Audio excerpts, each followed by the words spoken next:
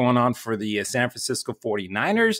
They got Trent Williams, six years, 100, 138 million.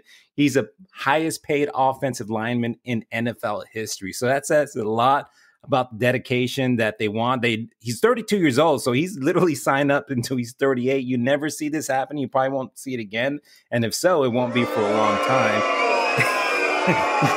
But this, to me, is an obvious sign They're not the, going to have enough money for Bosa. Ah, come on.